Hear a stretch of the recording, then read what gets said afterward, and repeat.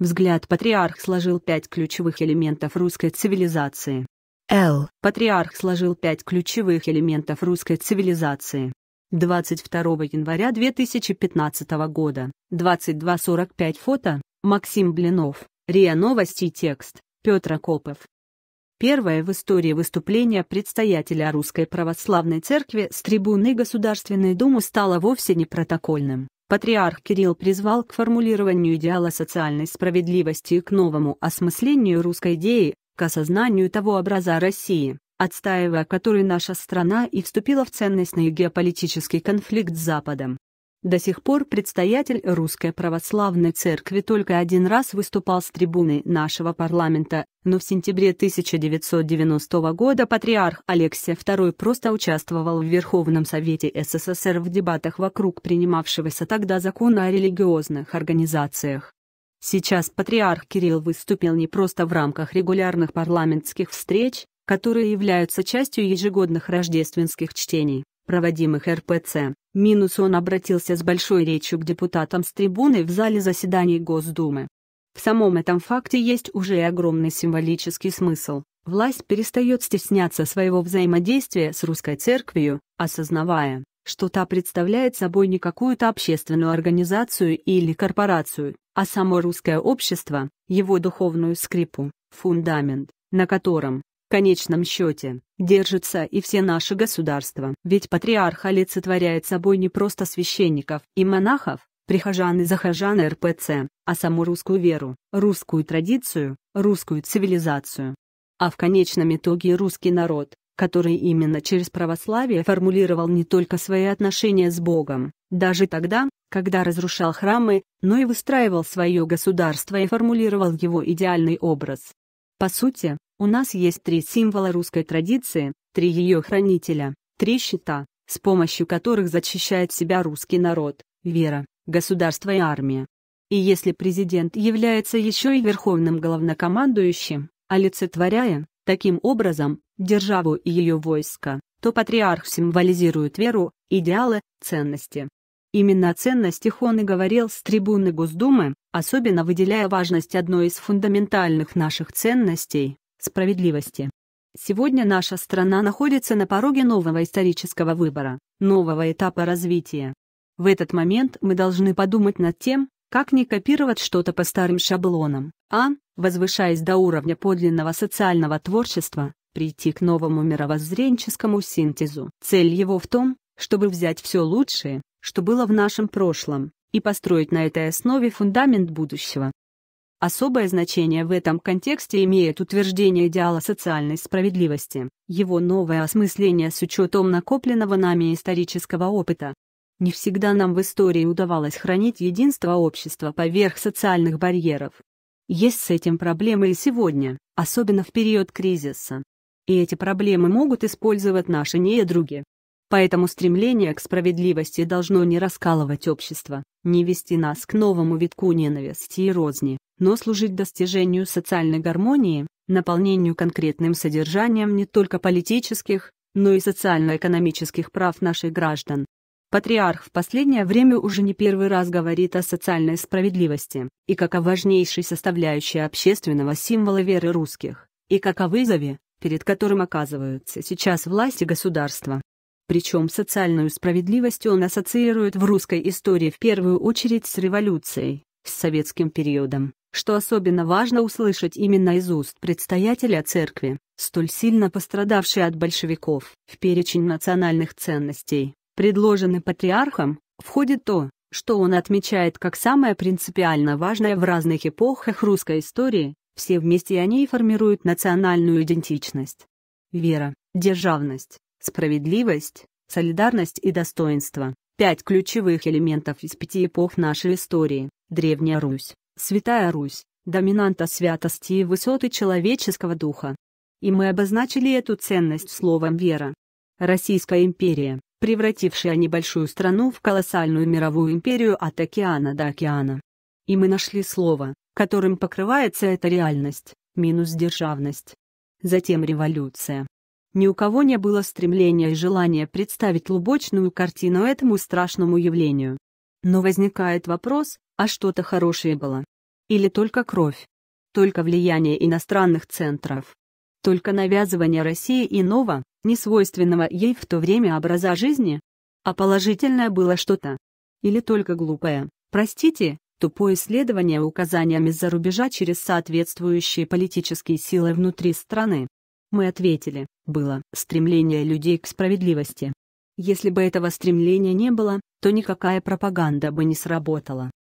А в советское время? Как только начинаем говорить о советском времени, одни идеализируют, другие демонизируют. А было нечто такое, что это время породило и что сегодня мы смело можем принять, включить в собственную философию жизни. Было. Солидарность. И никогда не надо забывать подвиг нашего народа. И не только военный подвиг. А те самые комсомольцы, которые на Целину ехали, бам строили, не получая за это никаких наград и привилегий. Это чувство локтя, чувство желания общими усилиями сделать добро для своей страны. Итак, солидарность. И, наконец, новая Россия. Господи, что только не говорится по поводу новой России. Мы стали делать акцент на правах человека, на правах людей, на человеческом достоинстве, на свободах. Разве можно это игнорировать и сказать, что все плохо? И мы обозначили эту эпоху словом «достоинство». Это не абстрактные историосовско-мировоззренческие изыскания, это попытка сформулировать те самые скрепы, над которыми так потешаются наши космополиты, молящиеся на одну единственную известную им ценность — свободу. О свободе как инструменте разрушения человека патриарх говорил, противопоставляя ее все той же справедливости. Идея абсолютного ценностного приоритета свободы, свобода выбора, подчеркиваю, и отказ от приоритета нравственной нормы стали для западной цивилизации своего рода бомбой замедленного действия, поражающий эффект который становится в полной мере очевидным лишь нам, людям. 21 века, потому что наши предшественники, находясь под обаянием темы свободы, с легкостью поддерживали различного рода новеллы, в том числе и законодательные, не задумываясь о том, что абсолютизация свободы выбора в отрыве от нравственных установок является смертельно опасной для человека и для общества. Потому что выбрать ведь можно и зло. Мы видим, какой драмой порой оборачивается ложно понятая свобода. Все это происходит от того, что из сознания и жизни людей исключается высшая справедливость и высшая правда. Последствия такой апостасии плачевны для человеческого общества.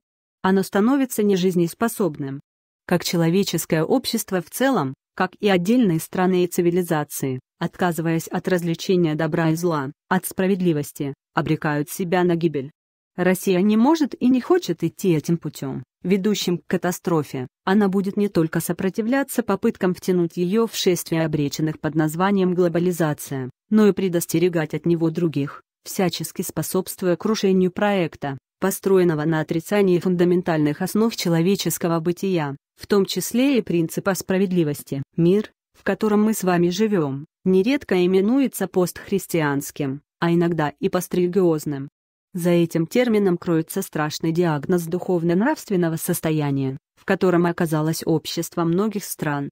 Происходящее там связано с попыткой подвергнуть фундаментальные, непреложные, Богом заложенные в человеческую природу, а потому абсолютные и универсальные нормы морали, пересмотр которых грозит огромными опасностями для человеческого общества потому что в результате границы между добром и злом размываются, а понятие справедливости, по укорененности в нравственной природе человека, являющееся универсальным, интерпретируется в соответствии с господствующими философскими и даже политическими установками.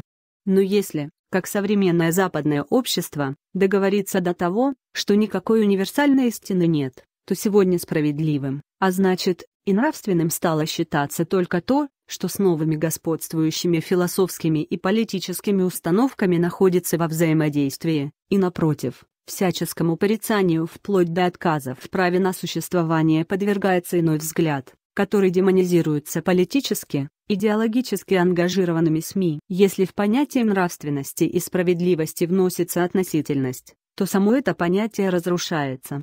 Хорошо то, что хорошо для Великой Германии, минус известный тезис и нравственность исчезла. Когда мы нравственность обуславливаем коллективными, корпоративными, классовыми, идеологическими и прочими факторами, мы отказываемся от нравственного начала. Отказавшись от универсальной высшей правды, люди пытаются удержать гибнущее общество, делая акцент на идее равенства права, сказал патриарх. В таком случае свобода личности ограничивается лишь законами, которые призваны корректировать поведение человека, давать ответы на то, что дозволено, а что нет. Но зачастую мировоззренческие взгляды на тему свободы врываются и в сферу права, вынося огромное внутреннее напряжение в законодательную систему и пагубно влияя на личную и общественную нравственность. Religion. Навязывание разрушающих мораль и нравственность норм идет через законы, которые тем самым не укрепляют общество, а еще более ослабляют его. Патриарх привел примеры того, как разрушается нравственность. Это и легализация так называемых однополых союзов, и узаконивание эвтаназии, и введение в общественную жизнь отдельных опасных элементов ювенальной юстиции. Все эти юридически закрепленные новеллы, противоречащие подчас не только нравственным ценностям, но даже и общечеловеческому здравому смыслу и инстинкту самосохранения, получают все большее распространение и признание со стороны некоторых государств. Естественно, что патриарх выразил озабоченность тем, что упомянутые поведенческие и законодательные идеи сегодня пропагандируются и даже навязываются России, отметив, что в значительной мере от активной позиции российских парламентариев будет зависеть способность нашей страны устоять перед лицом современных псевдоценностей, губительных для личности и человеческой цивилизации в целом. Надежда патриарха на то, что отечественные законодатели будут защищать русскую цивилизацию, основана не просто на понимании, что такой курс проводит Владимир Путин, являющийся несомненным авторитетом для всех парламентских партий. Она базируется еще и на его убежденности в том, что в России восстанавливается солидарное, соборное общество, а значит, и сами партии не могут конфликтовать между собой по основным, сущностным вопросам русского бытия. Полагаю, что в обществе, традиционном для России, если хотите, в солидарном обществе, Политические партии должны конкурировать не в смысле противопоставления различных ценностей, например, свободы и справедливости, державности и достоинства, а в смысле их гармонизации, одновременного осуществления, воплощения в конкретных политических действиях и законодательных актах. Вот поле для политического плюрализма. Потому что не могут люди одинаково мыслить, и по образованию различаются, и по культуре, по традиции, действительно, по политическим предпочтениям. Поэтому сфера политики – это надстроечная сфера. Базисная сфера – это сфера ценностей. И вот этот базис ценностей ни одна партия в России не должна разрушать. Потому что тогда не будет России.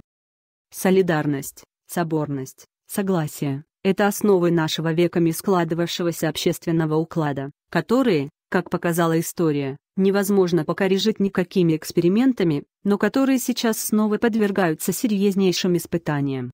Тенденция хаоса и конфликта – эта тенденция достаточно очевидна.